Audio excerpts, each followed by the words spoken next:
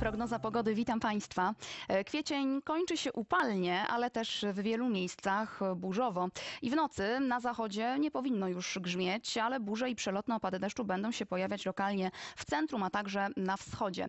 Będzie ciepło, bo do 14 stopni, a jutro chłodniej. Na Pomorzu od 15 do 19 stopni. W dzień sporo chmur, ale chwilami wejrzy słońce, chociaż miejscami też przelotny deszcz. Od ziemi lubuskiej po Kujawy zachmurzenie zmienne z lokalnymi słabymi opadami i już tylko maksymalnie 20 stopni. Do 23 jeszcze na Śląsku, gdzie też może spaść niewielki deszcz. Większe zachmurzenie na Dolnym Śląsku, a im dalej na wschód, tym pogodniej.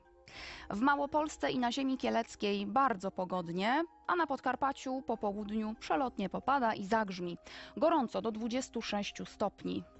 Burze jutro mogą pojawiać się także na Mazowszu i Lubelszczyźnie. Na ziemi łódzkiej gdzieniegdzie spadnie deszcz, ale bez burz. W miarę upływu dnia będzie się wypogadzać. Zagrzmi też miejscami na północnym wschodzie. Niektóre burze będą gwałtowne z silnym wiatrem, ulewnym deszczem, a nawet gradem. Środa na przeważającym obszarze chłodna, a od czwartku znowu cieplej, chociaż miejscami burzowo. Koniec długiego weekendu ma być bardzo ciepły i pogodny. Do zobaczenia.